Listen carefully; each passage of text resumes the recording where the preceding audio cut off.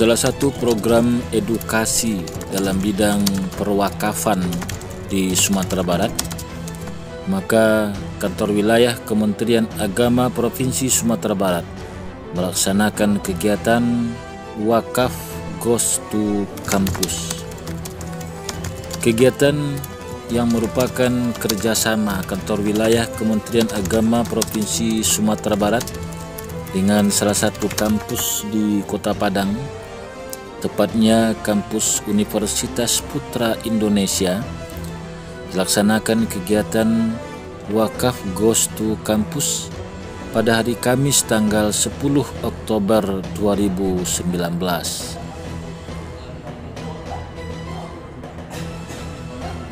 Wakaf Goes to Campus adalah merupakan program yang pertama kali dilaksanakan di Sumatera Barat dan merupakan program inovasi yang dilakukan oleh Direktorat Zakat dan Wakaf Kementerian Agama di seluruh Indonesia. 34 provinsi mendapat eh, kegiatan yang sama Wakaf Goes to Campus. Kegiatan dilaksanakan di UPI Wakaf Goes to Campus ini melibatkan 175 orang mahasiswa pada Fakultas Ekonomi dan Bisnis Universitas Putra Indonesia. Hadir sebagai narasumber Kanwil Kementerian Agama Provinsi Sumatera Barat disampaikan oleh Kepala Bidang Penais Penerangan Agama Islam Zakat dan Wakaf Bapak Dr. Andes Haji Maswar MA kemudian hadir juga Ketua Badan Wakaf Indonesia BWI Perwakilan Sumatera Barat yaitu Dr. Andes Haji Japeri MM kemudian juga hadir narasumber inti kasih Pemberdayaan Wakaf Kantor Wilayah Kementerian Agama Sumatera Barat Dr. Haji Muslimah STHI MAG Rektor Universitas Putra Indonesia Padang Dr. Haji Sarjon David Eskom menyambut baik adanya kegiatan wakaf Goes to Campus dan berharap agar mahasiswa UPI Padang mampu menjadi duta wakaf di kalangan mahasiswa Sumatera Barat.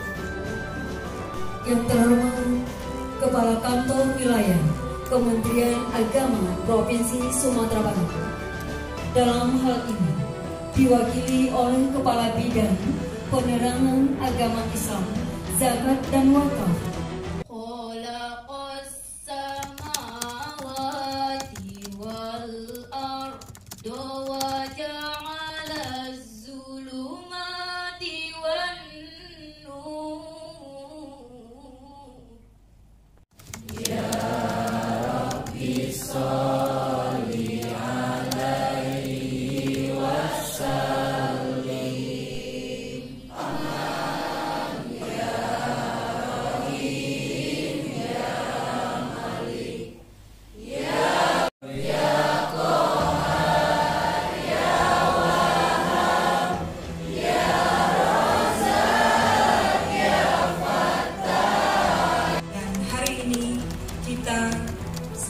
sebagai kasih pemberdayaan wakaf atas izin Bapak Kanwil melalui Bapak Kepala Bidang Penerangan Agama Islam Zakat dan Wakaf maka kami memilih kampus UPI PTK Padang untuk bekerja sama dengan Fakultas Ekonomi untuk melaksanakan kegiatan wakaf Bus to Kampus ini. Mudah-mudahan nanti pelaksanaan wakaf Bus to Kampus yang sudah kita laksanakan ini tentu saja menghasilkan uh, eh, MOU tersendiri gunanya untuk pelaksanaan ke depannya dalam rangka penguatan ekonomi Islam. Bapak dan Ibu-Ibu, saudara-saudara yang kami hormati, sebelum kami memberikan sambutan pada kesempatan ini, mari sama-sama kita berdoa membaca Ibu Al-Quran Al-Fatihah. Pertama, izinkan kami mengucapkan selamat datang di kampus Universitas Putra Indonesia IPK Padang, kampus IT berbasiskan uh, spiritual.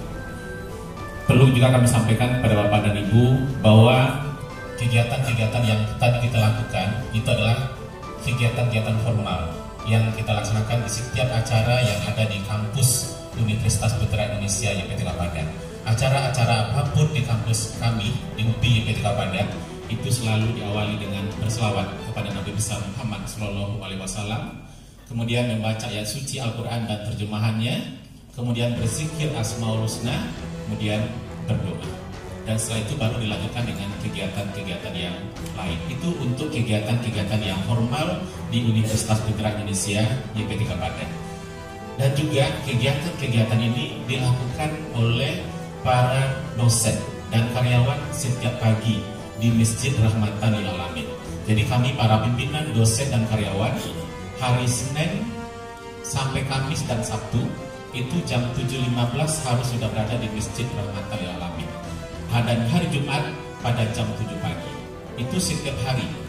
Semua dosen karyawan berkumpul di masjid setiap pagi. Apa yang dilakukan?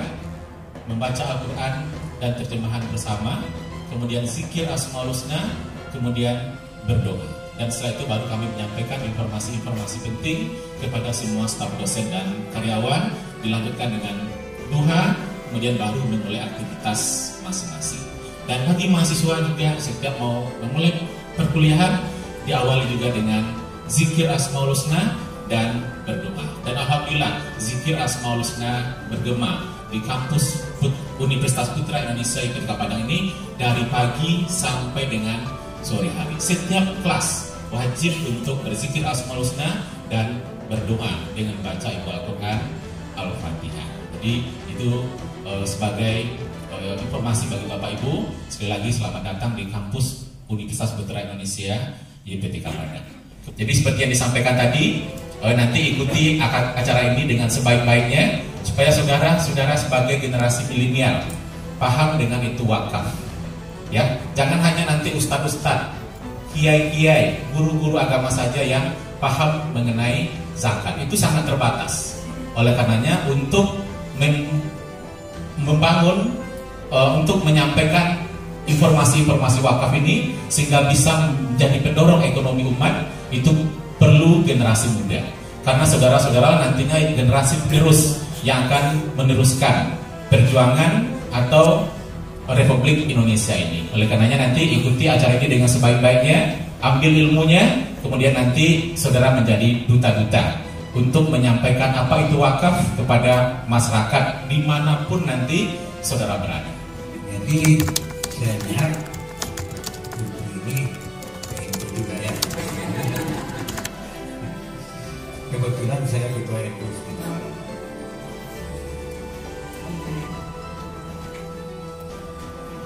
Dan juga tidak salah Pak, insya Allah 2020 MTQ Nasional UPI salah satu lokasi tempat bermain. UPI termasuk salah satu lokasi lomba MTQ Nasional. Jadi saya pikir sangat beruntung sekali mahasiswa yang masuk kemari. Di samping pengetahuan umum, pengetahuan agama, realisasinya ini, Pak. Kadang-kadang ada orang, Pak, pengetahuan agamanya tinggi, tapi ketika prakteknya sulit. Jadi alhamdulillah mungkin apalagi tadi dosennya setiap pagi, Pak ya. Saya pergi bimbingan setiap pagi ada zikir, berdoa, itulah habis balal. Pak Ebi, ini Pak Ebi termasuk itu. Untuk zikir,